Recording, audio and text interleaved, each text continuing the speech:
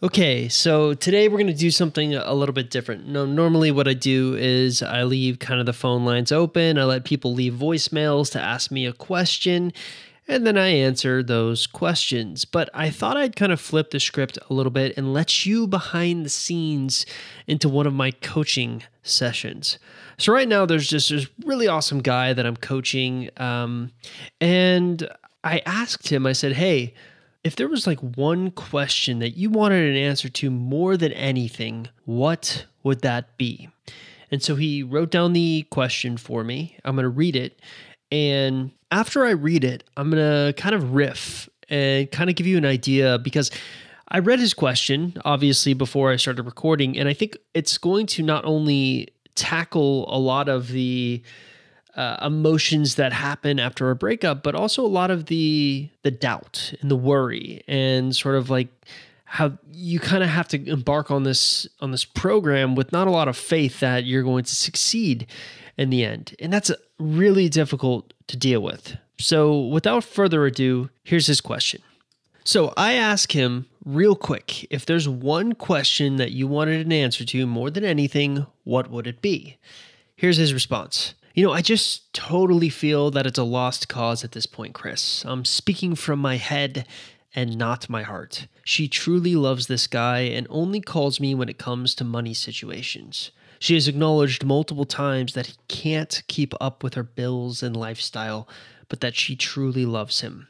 Today is my 40th birthday, and her and I were supposed to spend some time together, and she said that wouldn't be fair to the other guy. The writing is on the wall and it's time for me to walk away. She said that she feels he is going to ask her to marry him imminently, and she is going to say yes.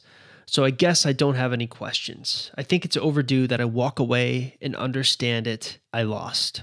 Okay, so I'm actually just going to talk directly to my client now. So I don't want that to throw any of you off because essentially what this is is sort of like a little bit behind the scenes um, coaching call where no names are going to be used and we're just going to be dealing with the situation at hand.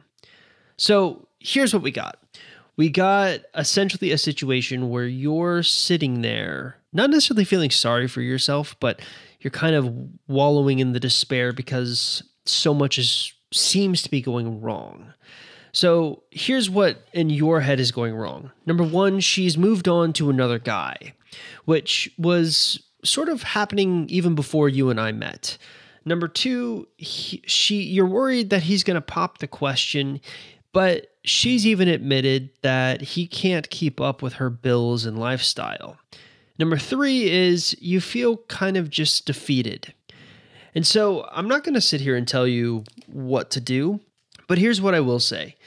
Uh, for the past few weeks, I've been doing this really interesting thing on my other website, um, Ex Boyfriend Recovery. So you found me through Ex Girlfriend Recovery. Basically, you know, the whole website is teaching men how to handle breakups, what to do if they want their ex back, or even what to do if they want to get their exes or, or want to get over their exes, right?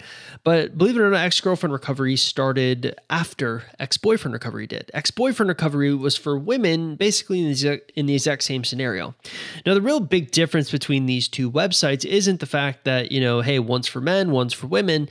It's the fact that there's a lot more women that search breakup questions than men. So when I look at the vast majority of the success stories, people who have gone through my program, gotten their exes back successfully, I have mostly women to draw from. And this is a little difficult because there's a lot of men wanting hope and I think that's kind of what you're you're looking for. The breakups you're going to go through many different phases of one minute you're going to be angry, the next minute you're going to want them back, then you'll be angry again. It's almost like you go through the five stages of grief and then you have a relapse again. I've seen that happen multiple times. But I think when we look at your situation, I actually don't see it as that bad. So if you remember when we first started working together, you were paying for all of her bills. You were, she was living at your house, she was dating some new guy, and you basically drew the line. You said, no more. I'm not going to do that. And she freaked out on you like we predicted she would. And like we predicted, she and the new guy right now are in the midst of the honeymoon period. And that honeymoon period is going to end eventually. And that's when the the shine's going to wear off when she's, you know, she's got the expensive lifestyle with the bills and everything like that. And so, as odd as it sounds, and the reason I bring up the success stories on the ex boyfriend recovery is because I've been doing this really cool study for pretty much for every single week for the past two months. I've been drip feeding one large success story interview I've been having with women who've gotten their exes back on the on my YouTube channel. And ultimately, I, I came into these success story interviews with zero ego, meaning I didn't really care what people did to get their exes back. I'm just all I care about is results. Like what is working? And what's really interesting is, you know, the normal things you would expect to work obviously worked, but there were a few things that shocked me. Number one was oftentimes it was the women who literally got to this point where they just didn't care about getting their exes back anymore, where they were willing to walk away, that all of a sudden their ex pays attention to them. And we can go into the psychology behind maybe why this works, but I guess here's my point. When I look at your situation, and I'm not there like a fly on the wall to see how your interactions are going or anything like that, but maybe there's a certain amount of desperation that she senses from you. So you and her still talk, even though she's with the new guy. And I guess my problem with that isn't necessarily that it's a problem, it's that maybe when you're talking to her, she can sense the desperation of how bad you how badly you want her back. I guess my point is if you have a conversation with her where you are just like literally like savage, you just don't care if you get her back. I'm wondering if she has a different opinion. I also would make the argument that right now all seems lost but it's not necessarily lost. And the reason I say that is because she's in the midst of the honeymoon period. She's still with the new guy. Things are still great with them. The honeymoon period can sometimes last as much as six months, and it takes forever. Six months is a long time before the shine wears off. In fact, I actually think with this particular person, if the guy does propose to her, it's not going to be oh, it's not going to be solidified. I, I, kind of see it more as a like he's going to do what he can to just sort of keep her happy, but I don't think they'll actually walk down the aisle because we already know that your ex girlfriend loves the lavish lifestyle and sh- he cannot provide it for her. So I guess my point is there's there's a there's a point where you can sit and kind of wallow in the pain and I think you're allowed to do that but if I was you, I wouldn't look at it as this negative thing and and you know like like I'll never get her back. Uh, that's weird for me to say that because usually I'm all for like, hey, like it's okay if like you want to move on, let's move on. But I honestly believe that sort of just standing up for yourself, showing you have a spine, basically not caring for her anymore is the key to getting her. And I think you kind of saw that happen a little bit because you would talk sometimes to her friends, right? Immediately after you essentially kicked her out of the house because she was basically mooching off of you, she goes berserk because it's a it's a clear indicator that you're like, I don't care anymore. I'm not going to put up with your stuff anymore.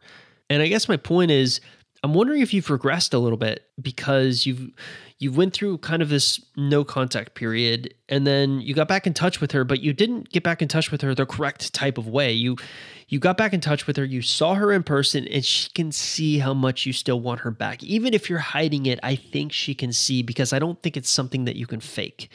And sometimes the smartest and uh, i was talking to um, a professional psychologist the other day. I was interviewing them for my podcast and they said something really fascinating to me it was this woman her name's Antia Boyd. She's really good. She she only really specializes in helping women get men, it, but it was kind of really fascinating because she talked a lot about uh, how she broke up with her husband before they got married, um, and why she did it, and how he got her back.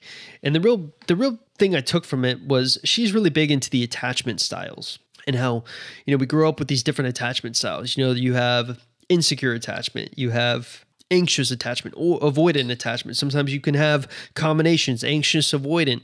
But the holy grail when it comes to attachment styles is secure attachments.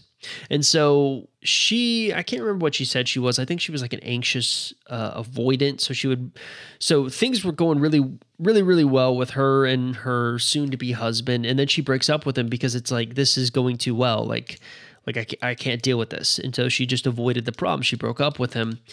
And he did something kind of brilliant. He was like, okay, and just went on with his life. And that made her sit back and think, whoa, something like, what's going on with, like, why isn't he acting like he cared at all? And it kind of intrigued her. She, it took her a few, like a few months, but she came back to him. And, you know, you know, things just kind of started up real naturally again with them. And then when they were kind of together, she asked him, she said, hey, like when I broke up with you, what were you, what were you thinking? And his response, and he was a secure attachment style, by the way. His response was essentially, well, I just thought you needed time, so I was going to give you the time, and I just sort of didn't care. And I guess my point is that's how you need to act. Like anytime someone goes through a breakup, they don't really act secure. They act insecure. They act anxious. They act crazy. And as much as you may feel like in your interactions that you knocked it out of the park, and I don't know like every single interaction that you had with her in the past few weeks, but any type of interaction you've had with her, I think honestly, she's sensing maybe the the inherent want that you have to get back with her. So as odd as it sounds, having you say at the end, like, yeah, I think I just walk away and understand I lost it. I think that's actually kind of the correct attitude to have. But you you I would make one small alteration. I wouldn't sit there and say, like, I lost it. I would sit there and say, okay, I'll walk away, give her time, whatever. I don't care. I can find someone better. That's the attitude I think you need to have to make her sort of come back because she'll just be drawn to you naturally. Um, I know it's not I know it's kind of cliche advice, but but the psychology behind it is essentially you're going to be acting like a secure individual. It's almost like, hey, if you need to find this thing out with this other guy, let, go for it and be cool with it because no guy is like that. Um, so I mean that is my initial response to kind of feeling like you're losing hope and like what's like this is a lost cause. Um, because I think in many times when you feel like it's a lost cause, it's just I think you need kind of the paradigm shift. And the paradigm shift is it's not necessarily a lost cause. It's like, okay, I don't, I think if you feel like it's a lost cause, then you're not doing the ex girlfriend recovery program aspects right because the goal is to get you to a place emotionally where you're like, I don't care if it's a lost cause. Like, I'm so secure and confident with myself that I just know she'll be drawn back to me. And if she isn't, whatever. And that's usually what what what we're finding in success stories just from interviewing them is almost all of them have this attitude. I will say there's a few outliers who I who I think sometimes say they have the attitude but don't really have it or they just got lucky. But the ones who have like the most difficult situations where their ex has moved on to someone new, like your ex has moved on to someone new, I think this attitude is what you need to have. And it's a hard thing because it's not something you can fake. You need to be so secure with yourself that essentially, just by being, just by being you, being who you are, she'll be drawn to you.